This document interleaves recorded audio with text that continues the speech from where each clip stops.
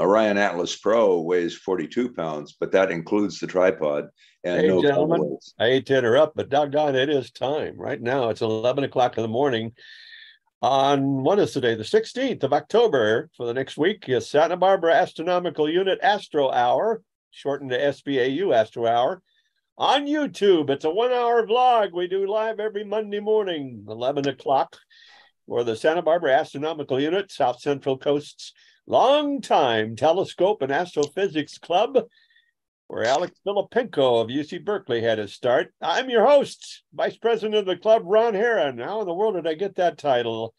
I learned a lot from gentlemen. We'll talk. I learned a lot from you guys. I feel like I'm getting a free course. It's once a week, one hour in the physics department out at Broida Hall. I introduce you to the guys here in a minute. You can watch us on YouTube, as I said. You can comment, and one of our uh, guys will tell you what you're saying. Come to our first Friday meetings. You're always welcome. First Friday of the month, we have a speaker, and we have great uh, stuff going on. God, daily. Uh, What did we have? Uh, Saturday, two thousand people to the- 2100, Chuck told me. 2173. Oh, How many? Twenty? 2173. Okay, and then Saturday night star party, we had over three hundred. 331. And Friday night at the meeting, it was uh, a little more than half full, I think. It was close to full, wasn't it? Oh, no, it's two Fridays ago that we had the first. meeting. Let's meet everybody. President Jerry Wilson, gonna run Good again? Good morning. You, you hope to be president again? You gonna run? You're unopposed this December, my friend? I don't know, you're putting the ballot together. That's true. I am. I'm running the show. Jerry has been president for five or six years. He's married to Pat Forgy. And he's too damn good for us. I got to tell you, he's the man that runs this uh, event we do here. Chuck McPartland is our SBAU outreach coordinator. I read somewhere that he goes out 200 times a year. That's more than twice. a That, week. that was pre COVID. Oh, okay. Not these days. 230, yeah.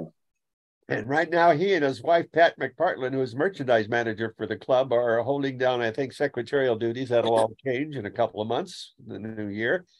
No Tom Winnemore today, editor of our newsletter. He's off, but uh, we have Bruce Murdoch, who's joined us, longtime supporter and telescope enthusiast, telescope freak. Actually, he goes crazy. He lives, he sleeps with his big, huge. he's No, I don't think so. My wife wouldn't put up with that.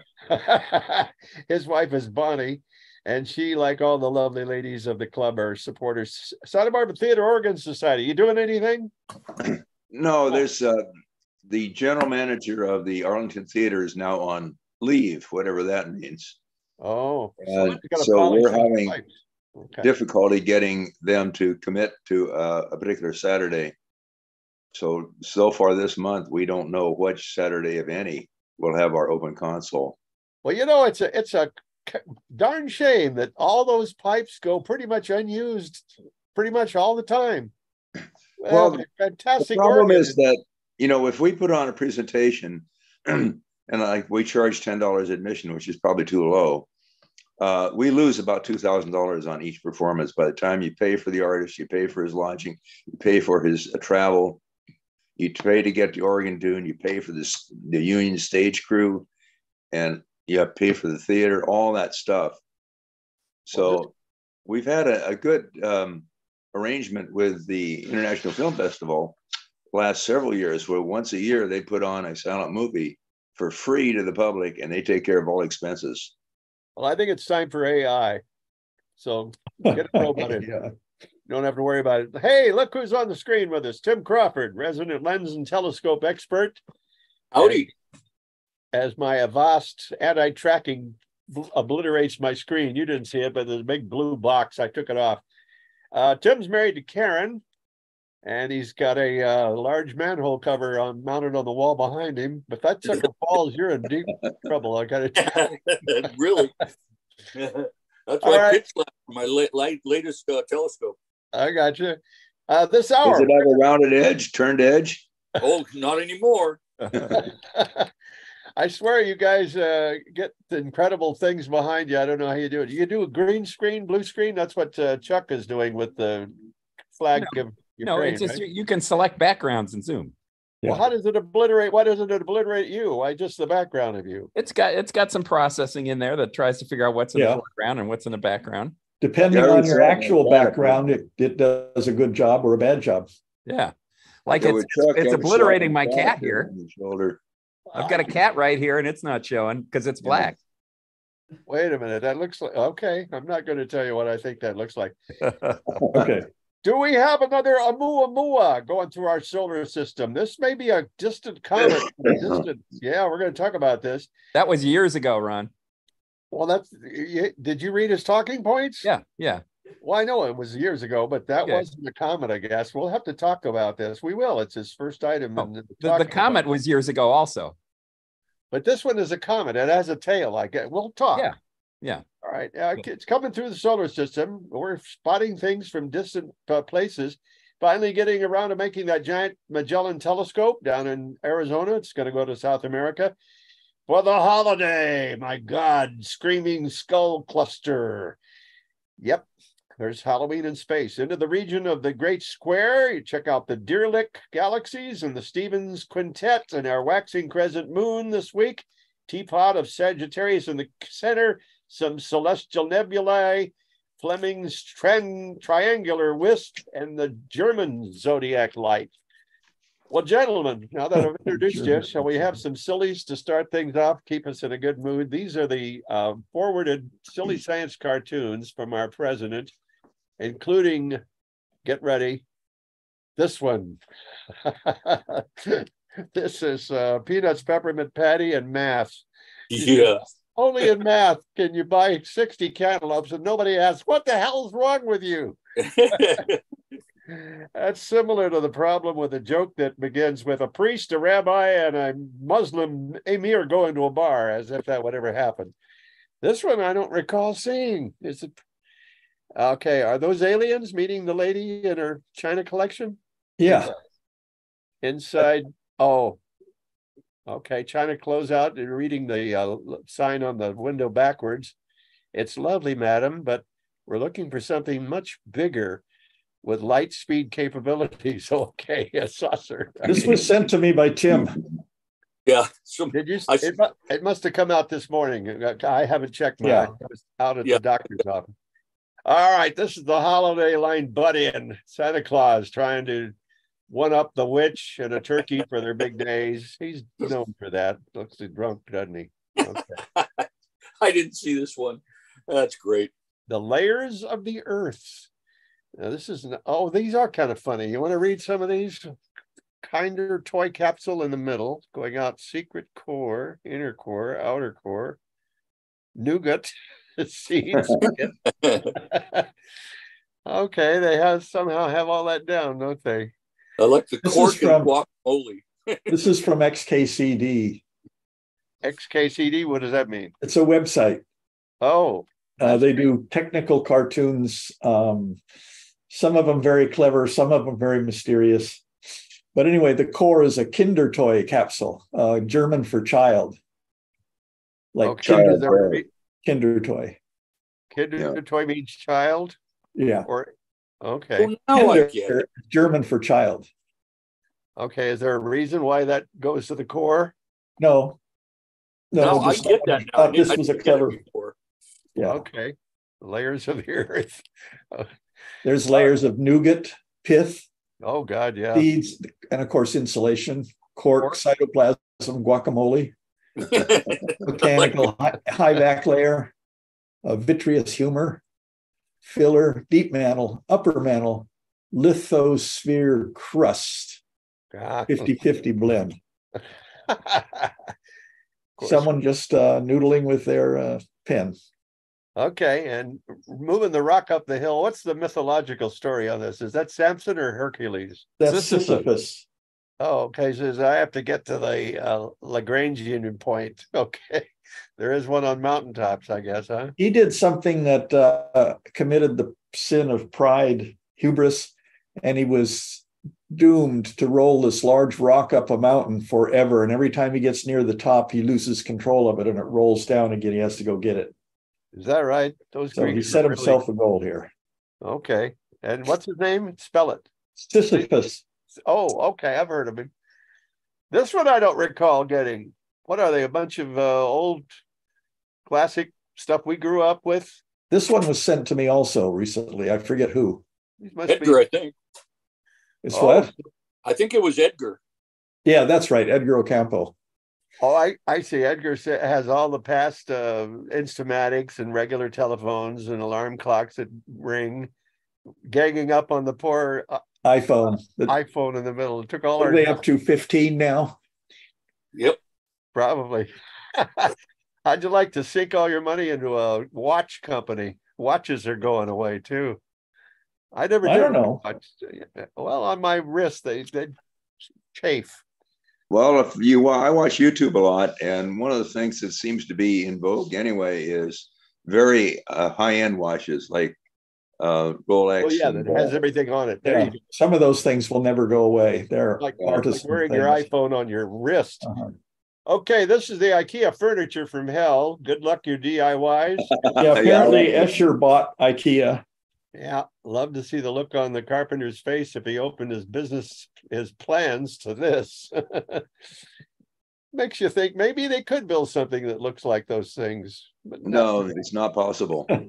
Oh, uh, it is, Bruce. I've done it. right. Okay. But yours, but yours had a turned edge. You have to be drunk or high to do that. And speaking of nostalgia, is it Calvin or Hobbes? Calvin's This is kid, right? this is the comic strip. That the little kid is Calvin. Yeah, and Dad comes ro- uh, walking up to him. He said, "Ah, playing a record, huh, kid? I'll show you something interesting. Compare a point on the label with a point on the record's outer edge. They both have a complete circle in the same amount of time, right?" Calvin says, "Yeah, but the point on the record's edge has to make a bigger circle in the same time, so it goes faster. See, two points on one disc move at two different speeds, even though they both make the same revolutions per minute." Can you leave that on the screen for a second? And he blew the kid's mind. Uh, here's what I, wr- here's, let's see, um, I'll just have to, I wrote this down because this has always made me wonder. The human ear can hear a sound up to how many cycles? How many? About 16 to 20,000 cycles. Okay, Oh, that means, how old you are. that Yeah. means if you happen to hit that tone, that note on a song on the inside track of an album, which goes 33 and a third RPM, right? Right. uh, one second or 16,000 squiggles would have to be in a, an arc on the vinyl that's about. I know where you're going with this. And yes, you do get higher fidelity on the rim compared to the center. well, well, is it a matter of if you could see it through a microscope, could you see them? That's a, that's a lot of little squiggles to cut You can certainly see this. You can certainly see the squiggles. I've seen photographs of the squiggles. Wow. In fact, there's two two squiggles per groove, Right. one on one side and one on the other. That gets you the stereo. Yeah, that's true too. Or, or try quad. It goes four different directions. Man, I don't know how you do that. I don't know how they cut that, those suckers, but. So the, the the key question then is in this vein, no matter how many songs there are on a record, on an album, the old 40, 33 and a third album, um, no matter how many songs there are, how many grooves are there on the record each side? It's always the same. One. One. You'll be surprised how many people haven't thought about that. Not necessarily. There have I've gotten what's called electronic transcriptions where you had to put the needle in the middle to Yeah. cut two or whatever. But When I was in Okay. college in the uh, boarding house that I lived, uh, which had a lot of engineers in it, uh, one of the questions is, what's the length of the uh, track on a 33 and a third RPM record? God, I, who knows? And we That worried varies. about that and worried about it. And finally, uh, one of the guys says, Well, we know the area and we know the width of the groove. Therefore, you know the length of the groove. The, you know, easy. Well, but some- sometimes there's a big blank with a, a groove that transits that blank area very quickly. Yeah. That, and when there's different bands on there. Yeah. Yeah. and you- I have a it depends question. on whether you just measure it as though it's a single uniform groove or whether you follow each of the wiggles. Yeah, that's right. Well, I you're I gonna have a quick question on this. Uh, Would the do the outside groove, since it's traveling faster out on the outside, do you go? Do you transition through um, towards the center slower on the outside than you do on the inside? No, the, the RPM is the same everywhere. Okay. Okay. Hmm. Yeah, it's a definite question, and this uh, that's going to have to be a topic in the future, Jerry. As will Okay.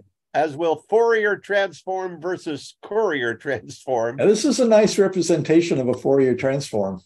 Here we are in uh, time space. This is time axis. And here we are in frequency space. This is the inverse of time, it's frequency. Well, is that an Amazon delivery on the bottom, or So that- yes, this is another kind of transform where some, someone mushed your package and transformed it into this. and that's known as a courier? Yeah, courier transform. Courier versus courier. About a couple of those. Okay, we have a couple of distant giant uh, aliens uh, in their laboratory, and they've got some samples around them. Zorak, you idiot! You mixed incompatible species in the Earth terrarium, which is on the top shelf. That's a man versus a bear. I can barely Yeah. tell. All right, those are mixed species. Back to peppermint patty. Yeah, That, that's not Peppermint Patty. Oh, that's uh, what is her name? Lucy. Lucy. No, that's not Lucy. Sally. right? Sally. is it? Sally? Sally. Yeah. Who was Oh, that's the younger sister. Okay. Yeah. Wasn't there a peppermint patty in the? a there patty? is a peppermint Yes. patty. Yeah. but it's not her. I thought that was her. Well, we got a new Oumuamua coming through. Is that our first? You want to just go in line of your talking points? It's I Sure. not only read them, but I transfer them to one piece of paper here. Well, it's not a long, skinny one. It's not a Havana cigar this time, right? Well, this one, this is Oumuamua. I know. This Or- is from, what is it, 2020 or something? It went through 2017. 2017. Oh, yeah, that's right. It was first. Artist And, uh, but we're going to talk about Borisov, which is came through in 2019, because they have determined through a, a, sim, uh, a ideal analysis, a simple analysis, they've come up with some strange facts about it. Not strange in any kind of science fiction or UFO way, but mathematical strange. So this is Oumuamua, which you all remember. Uh, it was uh, it was did not act like a comet at least not a very bright and big one. It had no tail and no coma around it. It zipped through, and it could be a long pencil like this, or as you recall, it could also be a flat pancake that we're looking at, John. They never determined which one. And then when it was leaving, it kind of accelerated a little bit. It did not go in a ballistic trajectory, and it um, so that it was deter- it was decided that this thing is most likely just boiling off remnants of some volatile material and gave it a little jet kick. So, and everybody seized on that as saying it was, uh, especially this Harvard professor, that it was a visiting spacecraft. So, let's get this bigger. yeah, which one of those this- paths? Which one of those paths is this Borisov? The 2017 path here Oh, that's it. is the no, that's the um, that's Oumuamua. Oh, oh, okay, got it. Yeah.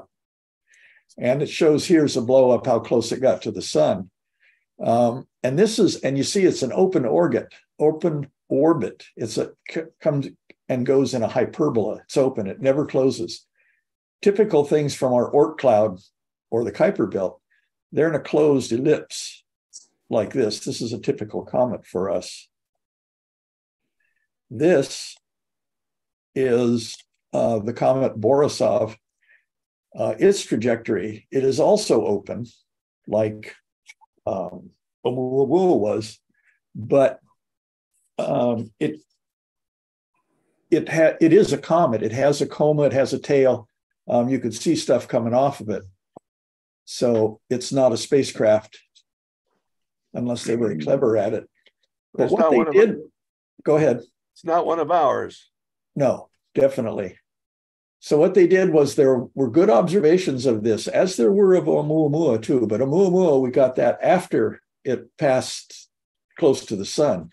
This one, I believe, was seen uh, more extensive part of its orbit, so we got some uh, good data on it.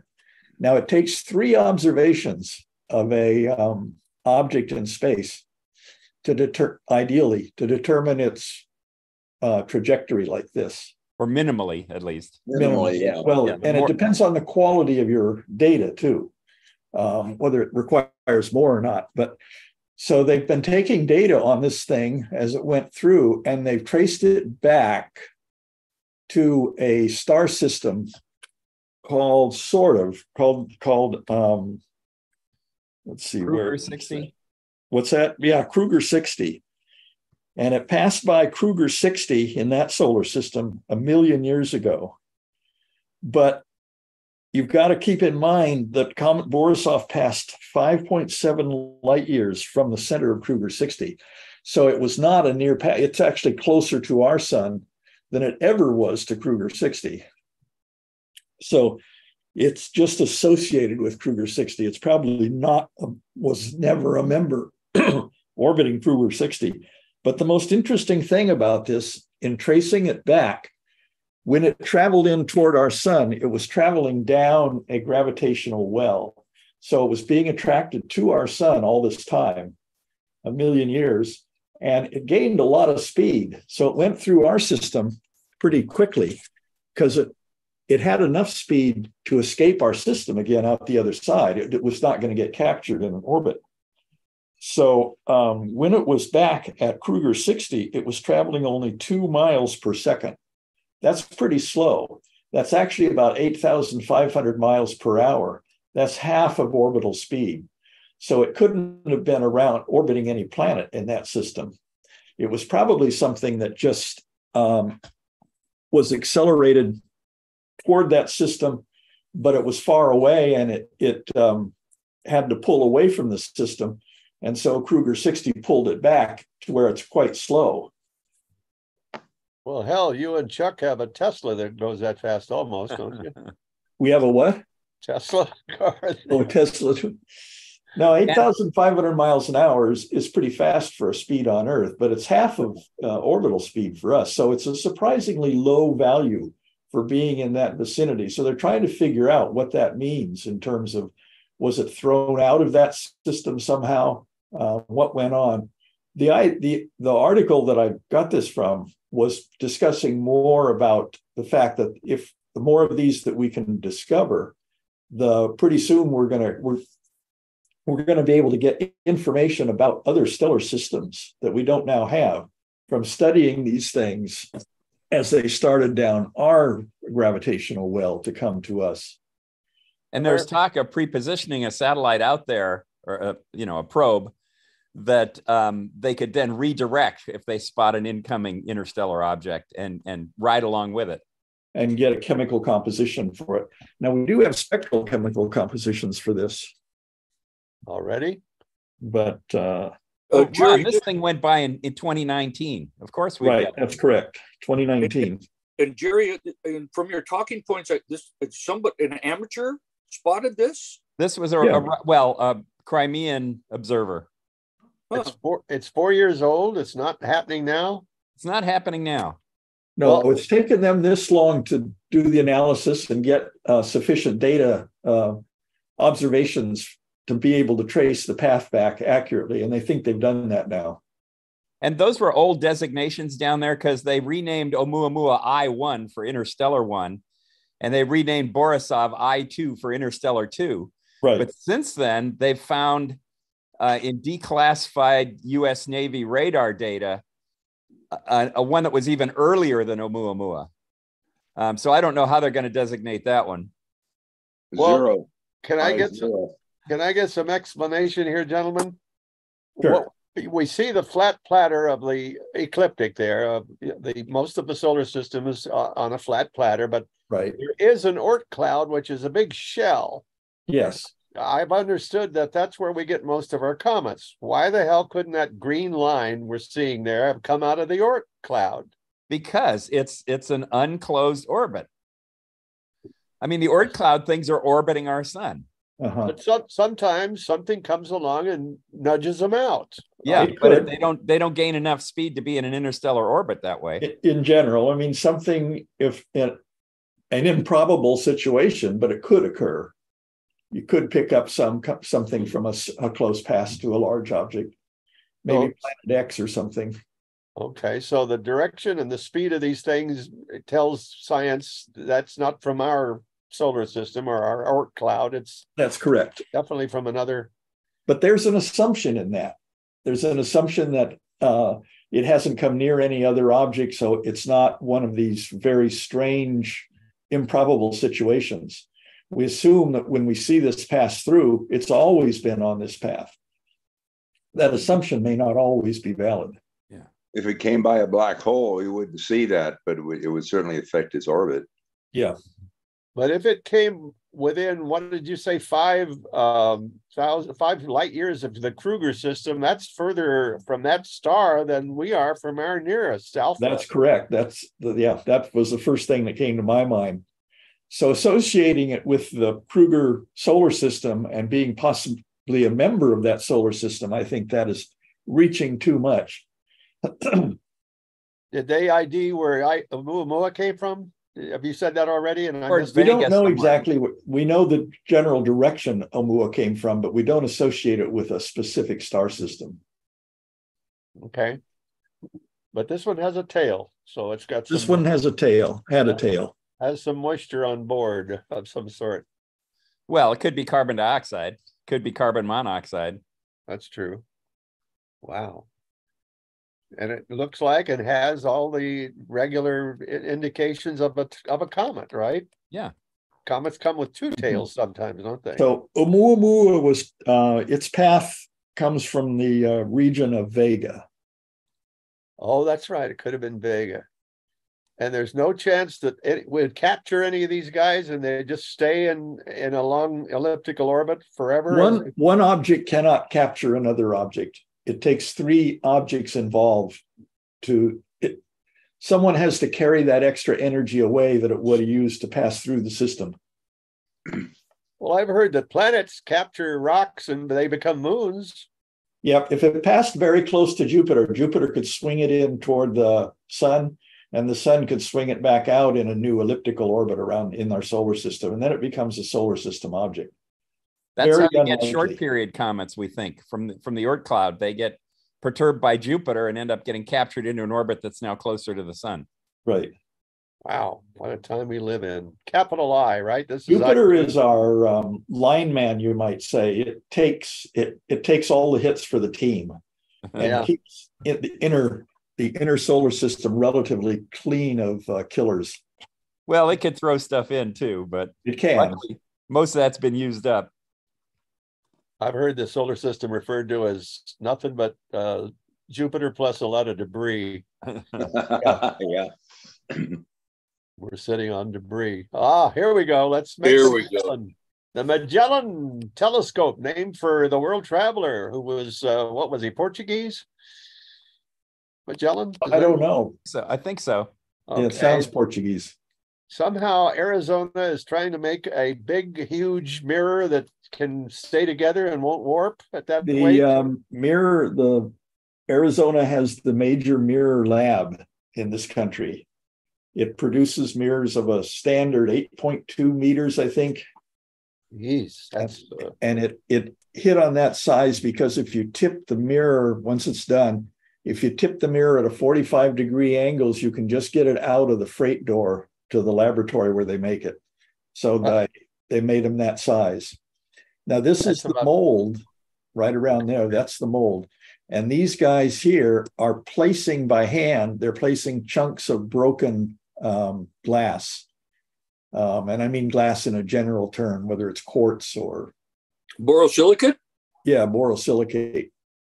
Um, I'm not sure the composition of it, but uh, borosilicate would be pyrexed. So um, anyway, you see all this is piled together, broken glasses, glass of a certain size, and so it'll take a certain amount of time for this. Glass doesn't really melt, as you know. It just becomes uh, less and less viscous as the temperature goes up. Now, this second ring around here, that's a heater element and up above, but you can't see it.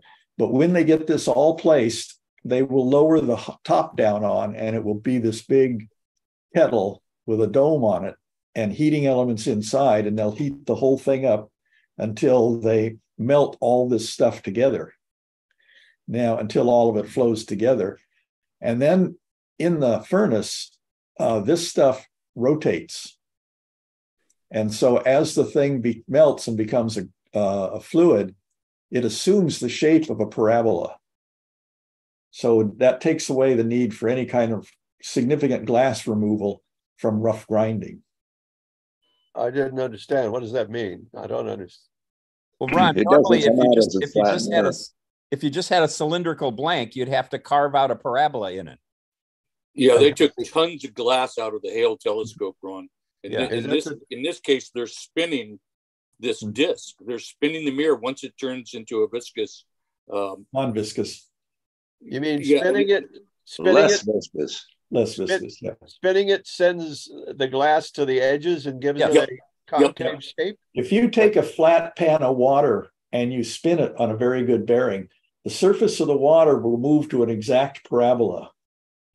And they have made telescopes like this that point straight up where they have a big, big uh, tub of mercury metal, liquid metal, and they spin it at a certain rate and it's a certain F number telescope. Liquid. never understood. I've never understood why it spins to a parabola and not a sphere. Well, I guess you haven't done the, the uh, algebra homework yeah. Okay, okay. because that's a that's a homework problem. oh, okay. And then there's also the way the weight is distributed. Um, there's also, uh, and I got this wrong once, and Bruce corrected me, but the um, the way a rope hangs in a gravitational field hangs between two points. There's a name for that. A catenary. Catenary. A what? Catenary. Catenary. That's right. Yeah. Okay. So Huh. that's also that's also a high school algebra problem. But all the mirrors in your scopes, gentlemen, are parabolas? They are, but we carve them to be that way. We don't flow them. Well, Uh, Ron, uh, that's that's in a all depends on reflector the telescope. That's in a that's in a Newtonian telescope. Right. Right. In the Schmidt Cassegrains, it's a spherical mirror, and that's why you need a corrector plate. But they both focus to one point, right? No, no, spherical mirror does not. So you need to use a to a corrective line. element. The spherical mirror all by itself uh, focuses to a curve that's called a caustic. Hmm. Hmm. We're, we're, we're talking a part of the sphere, just a part of it, not the equivalent of an arc on a circle, but this is a piece of. Right. If you cut cut the bottom third of a basketball off, that's the Right. spherical mirror. And that won't reflect back to one single point? No, No. Now Well, it the, will if the, uh, the source is at the uh, focal length of the mirror. It, it's in this. If you, yeah, the way, the way I've heard this is if you if you're standing in the center, Ron, of a of a sphere, uh, and the and you're in the inside, and the and the inside of the glass sphere is mirrorized, and you're standing at the center, and you look out and you're holding a candle, and if that candle is in focus, you're standing at what they call the radius of curvature. So yeah, it'll come back to, to you, but starlight is parallel. It's not that candle. Huh. So it has to be reshaped to a parabola shape. It just seems like the law of geometry would force it to every angle, you know, depending. no. no. Okay. It doesn't. It doesn't I'll, come I'll, to different. I'll show you that on a blackboard someday. It doesn't work. Yep. Love The uh, big telescopes that are the two big radio telescopes at Arecibo and the one in China, I forget where they are. Those are spherical radio telescopes, and they have an antenna that's at the center of curvature, but the antenna is a long thing that sticks down because that antenna is picking up over the entire caustic curve. So it's getting that's the that's as close to a focal point as you get in a sphere.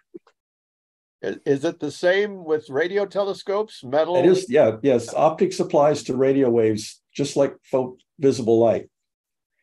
So this is um, this is a finished mirror for the uh, the place in Arizona is the Steward Observatory Mirror Lab, CDEC here, and this is um, the glass is produced by Ohara, and this is a completed mirror for the Magellan Telescope.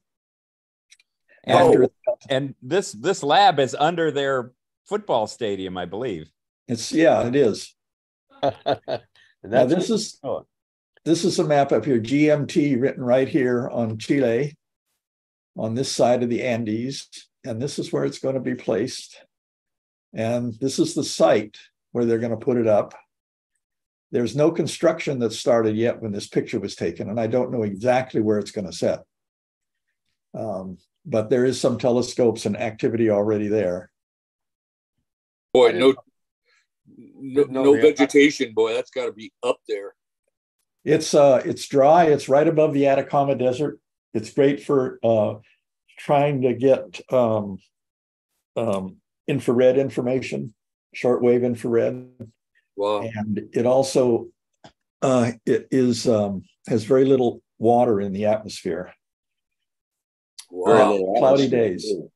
Now, this is an artist drawing of the uh, giant Magellan telescope. You see that it's got seven, one, two, three, four, five, six, seven. The center one's got a hole in it, and the center one is a symmetrical parabola.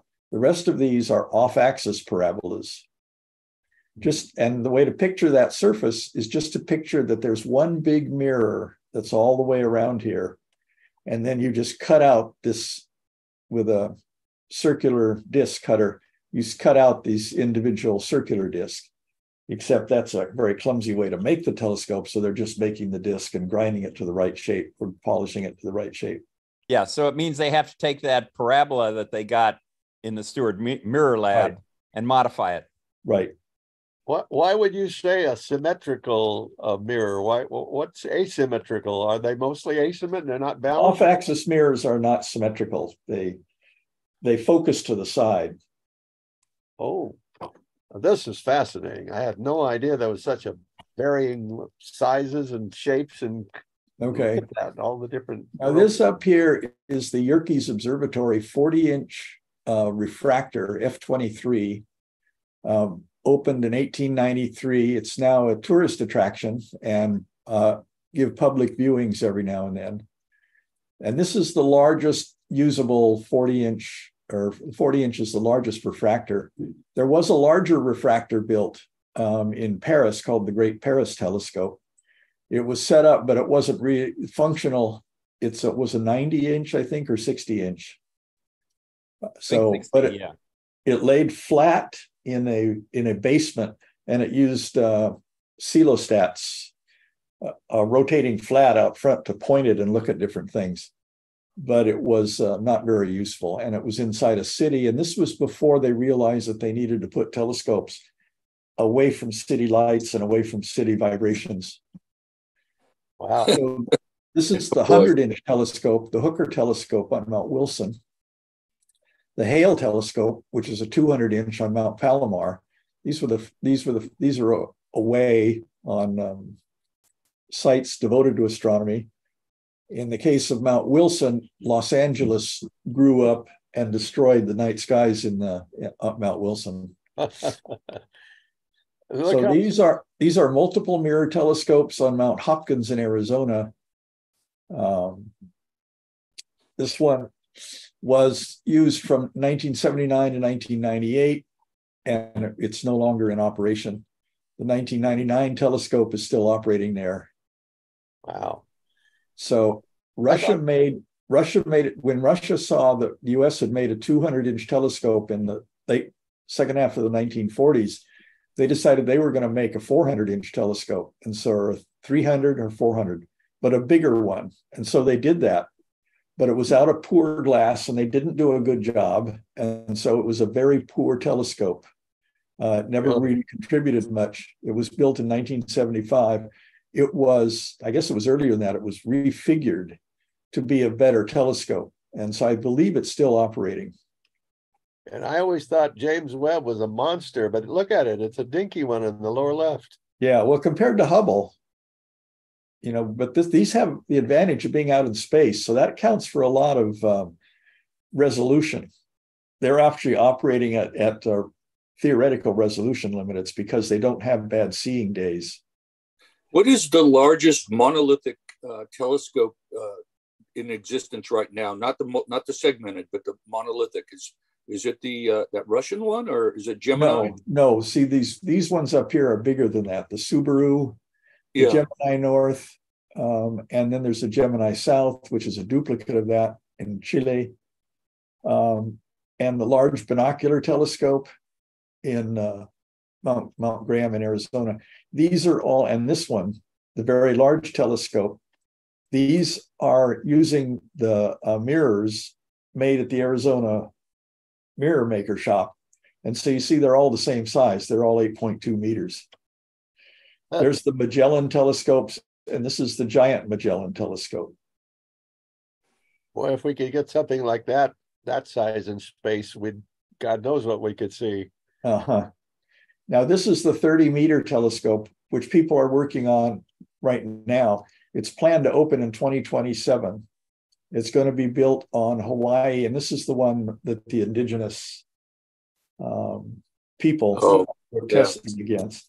But they Yeah. reached an agreement where there would be no more telescopes on the mountain um, after the 30 meter.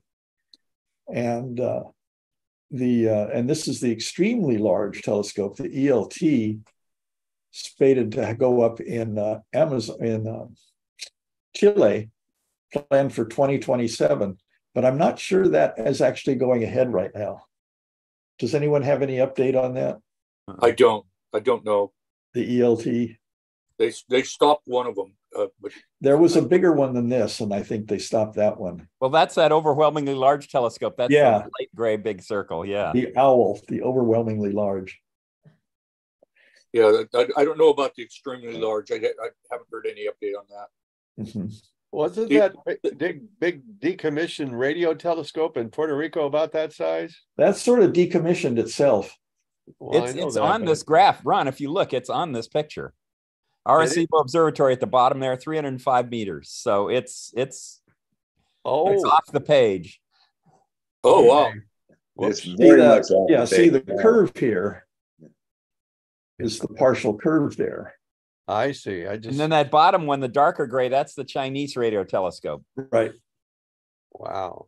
Oh, there's the, the there's the owl uh, or the it's overwhelmingly. Oh large. yeah, this is I this one, yeah, this is the overwhelmingly large, the owl, and it's been canceled.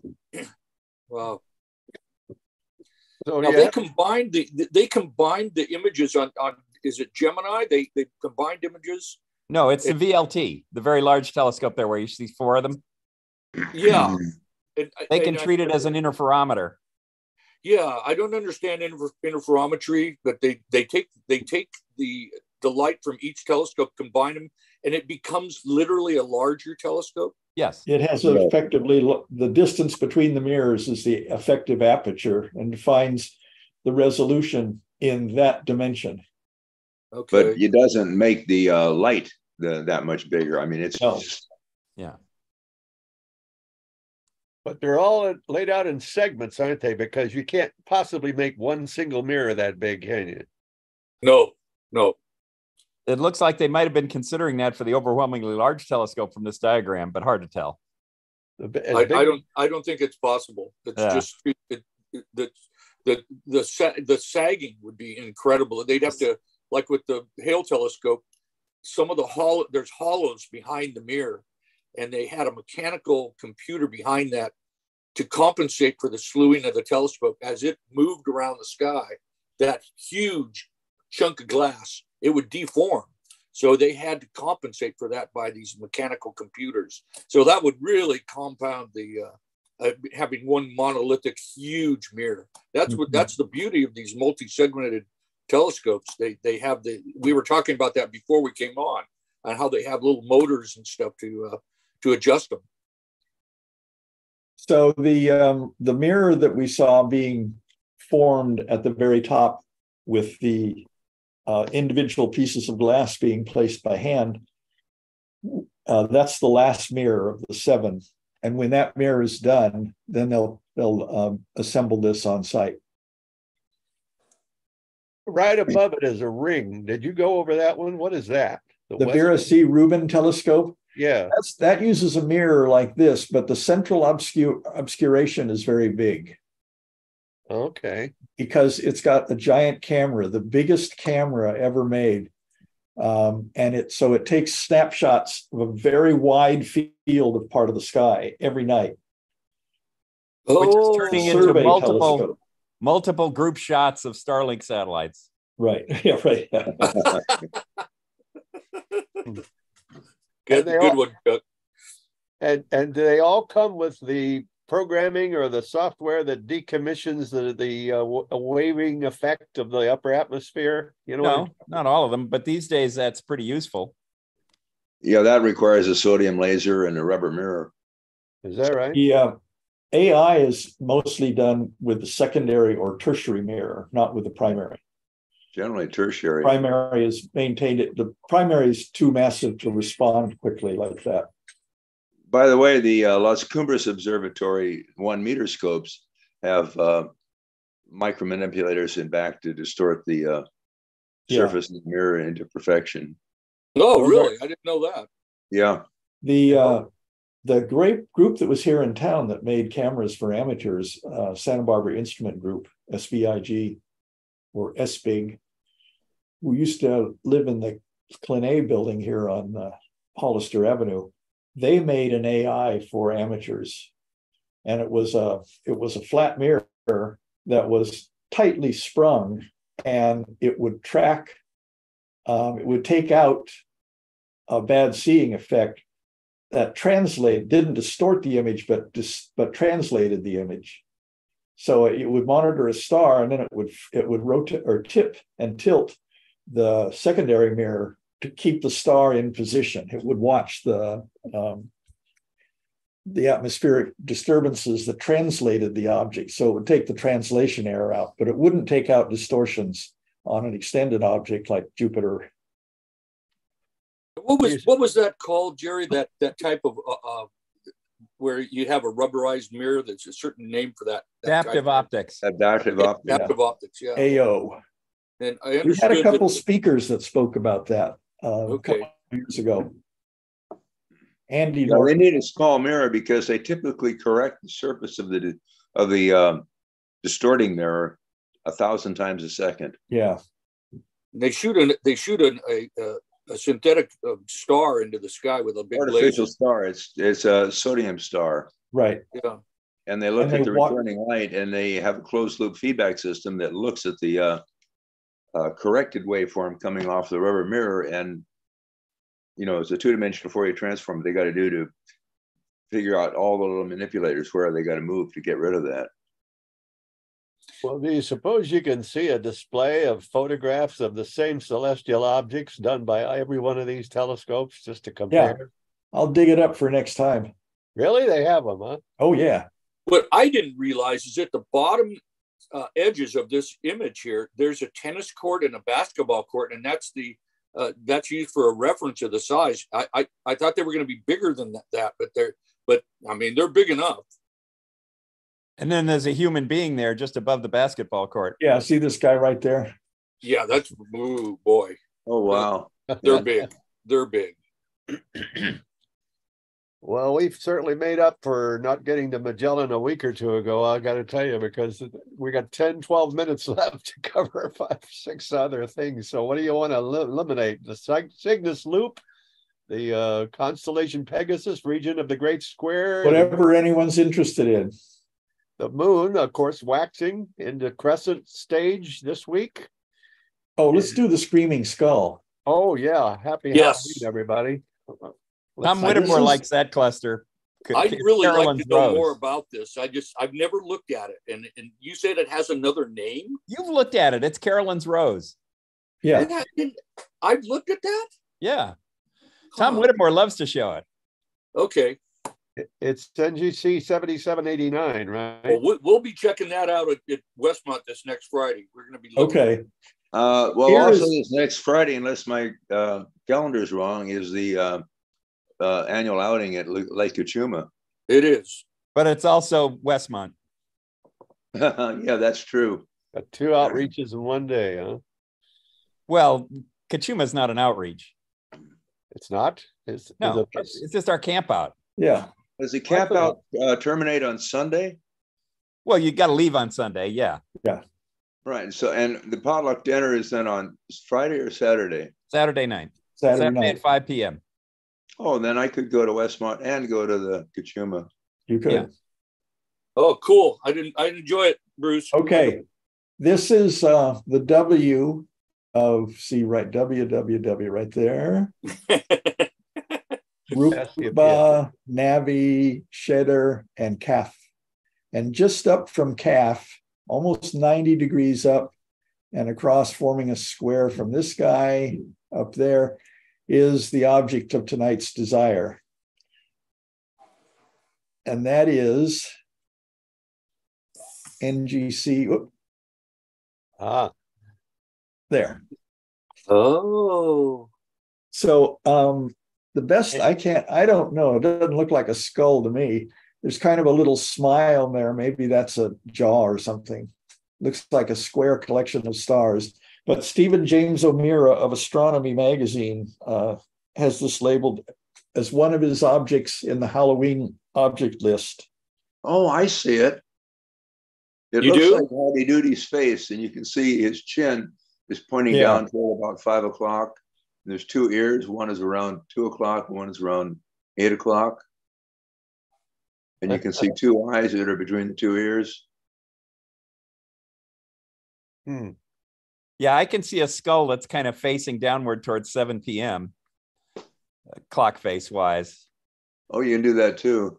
Yeah. When I'm Yeah, there's it, kind of a little dark area here with uh and then yeah, two eyes and a nose. Yeah. Yeah, and there's eye. Oh, yeah, it does look like yeah, eye, eye, nose, and a frowning mouth.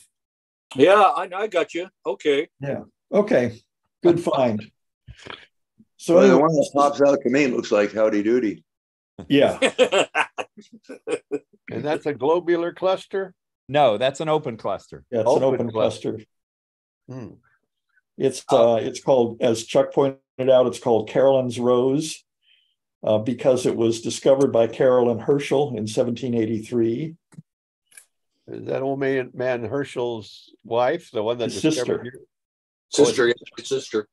Oh, And this is seven NGC New General Catalog 7789, which Caroline Herschel also put together. Okay, that's good. I'm going to be able to talk about this on Friday. This is this this is nice. The Screaming this, uh, Skull cluster is due to Stephen James 1885? O'Meara. we should name something after her, the Carol, something Carol Planet or Moon. It Well, is Caroline's Caroline's Rose. Rose. Oh, is that what this is called? Carol? Yes. Moon? Yes, Caroline? yes. Okay. And a thousand stars in that sector. huh? Once again, the difference between an open cluster and a globular cluster and the other clusters. Open clusters are younger stars. They were often called galactic clusters because they're concentrated along the plane of the galaxy. Globular clusters are very old stars. Uh, they're more strongly gravitationally bound and they're usually tens of thousands of light years away. And usually in a sphere. Yeah. Okay. Somehow you get a skull out of that. and I see it. Okay.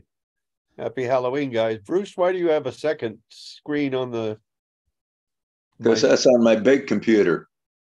Were you gonna, if we could get it in, show your shots of the uh, partial eclipse? I think you took those, didn't you? You sent them to Uh, us. I did. Um, I guess, uh, how do I do this? I, I'm not used to doing, uh, yeah, we got one there. Here's There- one of you can pull it. I, This I, is I one- sent that email twice. The first time I sent it, I, uh, uh, attached a wrong picture, like this one. This one my daughter took. Oh, okay. This was taken by Bruce's uh, daughter.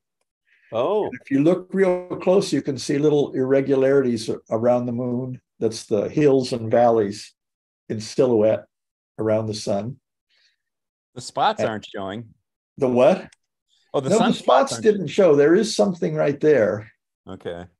I'll go up, if you go to the collage, One the up there. big one, the one that's, I don't know, three megabytes, uh, that's all of the pictures that were taken. And unfortunately, the, um, uh, cell phone cameras, you don't have a whole lot of control over exposure. So this is overexposed. Yeah. But there's some other, uh, pictures in that collage that are not overexposed and you can see, uh, Yeah. I think, uh, eight sunspots or something like that. Now, a lot of those features, um, not to disagree with Bruce, but in a lot of cameras, a lot of those features are there, but they're very obscure. That's, that's exactly right. I'm sure that if you know how to use it, you could use it, but, uh, Yeah. well, did get This anybody is get this, a, anybody get a one- picture at Camino Real? That's where we Well, are. that's what look at this that. is. This is Okay. it. See, this is Camino Real. I know, but This did one has appeared in Noozhawk and um, The Independent. And And I, there's a nice article by Robert Bernstein on Ed Hat. Yes, there Okay. is. Chuck and powder in that. but I think I think this was taken by Bruce. No, this was, um, It was in your email. yeah, I know, but I believe this was Noozhawk. Um, Okay. It- Can I you, let, let me go to that. Um, come on, where am I here? And you guys have got to make this smaller. My Wait. Zoom is full screen and I can't. There we go. Now um, I can get into my uh, directories here. can you make it bigger so we can see what's on the theater marquee? What are they watching nowadays? The Taylor Swift movie and is Oppenheimer still up there? Barbie, God knows. Are what you they're- ready to um, share, Bruce? I'm getting down to the uh, files that have what I want. Um, But my question was, did anybody take picture or a picture out there at the event? Yes. That's Yes, what that last several. picture we showed was right there. Okay, I, Yeah. But if you go to my email, the one I sent out this morning where I said I, I had attached the wrong, wrong uh, picture, you'll see uh, eight pictures that, that uh, I uploaded from uh, the, the thing there, uh, five of which are what we took. We being Marlon, my daughter, and Bonnie, my wife. You know, we got to be careful of as far as showing pictures with recognizable children's faces in them unless we have a release of some kind. So yeah, probably. But well, it's uh, a public space. You can take any kind of pictures you want in a public space. uh gotta be careful Yeah, these but- days. Owen was getting signatures. Okay, this is one of Bruce's collages. Uh, is that showing okay? Yeah, and now you can zoom in on that. That's a, a the one that says that doesn't say small or, or whatever. It, it's uh those are the full size photos that I put into a collage. Yeah. So you can see sunspots very nicely on here. Huh. I don't know why they're located over here. That might be, I don't think I rotated one of the pic. I had no control over the photographers which way they put their camera up to the. uh yeah, but this wouldn't be an effect of the camera because this is um Well, that's the rotation of the camera. yeah, there's, you know the my my uh, expert photographers uh, put their cell phones up in one way or another on the uh, yeah. against the eyepiece, and I had no control. I was too busy talking to people and showing them the uh, Yeah, the ditto. eclipse through the big scope. That one sunspot that's right near where the moon takes a bite out of the sun. It's it's right at that it, at kind of the apex of the curve. And Oh, I see what's happened one- here. This picture's out of order. This is coming in, coming in, coming in, coming in, maximum going out and going out. Oh, all right. Well, I can re- reorder that. Yeah. Those two in the middle that are a little bit wrinkly. Uh, my wife took those with her Pixel cam with a cell phone. The rest of them, my daughter took with her Android cell phone. Okay. Yeah, a lot I of people tried tried to use their solar or uh, their uh, cell phone on my telescope, and most of it worked pretty good. Well, I, you know, I was over the side of my, I, I could see since I have a diagonal on the finder scope. When people would put their camera up there, I'm, I'm, I'm looking at the angle of the camera with respect to the center line of the eyepiece, and they're they tend to tilt the camera. And I keep saying, I'll put my hand up there and say, no, you want to be 90 degrees to my hand. And if Yeah. they don't, then you get, you know, um, distortions. John That's Boyd, who's our sort of solar expert guy, he didn't he wasn't able to join us out of Camino Real Marketplace, but he took some really nice pictures, uh, both through uh, photo, you know, uh, white light filter and through uh, hydrogen alpha, and they're posted on Noozhawk now. So um, they're pretty impressive. Yeah, yeah, he did a Quite a good lot job. of detail in that big sunspot. Mhm. So I had one one little boy reached up. His mother lifted him up, and he reached out and grabbed my telescope like he was going to do chin ups. Yeah. So I had to spend I had to spend some time refocusing and getting it back on. It is just almost instinctive for me when a kid starts to reach, I just raise my hand and push his arms out of the way. Yeah, Then I say, please don't touch the telescope. Now, the filters involved in this are similar to uh, welders' goggles, aren't they? They're really dark and smoky, right? Well, Whether- these, well, they're not, I didn't use a glass filter. It's a Mylar filter that's been metallized on both sides and is an ND5, which means 10 to the fifth attenuation or one part in a hundred thousand. So But it lets you- through one one hundred thousandth of the light. But- But how do you get it on your scope? Does it screw in? Is it a lens on the edge? Stick it on the front. I, On the there's a picture of my scope in this, co- this, uh, bunch of, uh, pictures that I sent. It's down near the bottom, probably about the fifth one down. And then- Okay, and then the glasses that people get, were they provided free out there at Camino Real?